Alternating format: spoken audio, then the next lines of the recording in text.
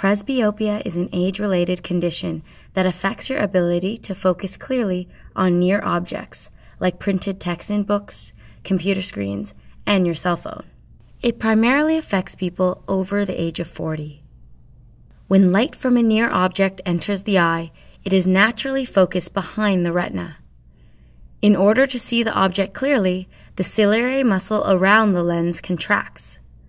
This changes the shape of the lens, allowing the light to be in focus. As we get older, the lens begins to gradually harden. Despite the contraction of the ciliary muscle, the lens will not be able to change shape properly.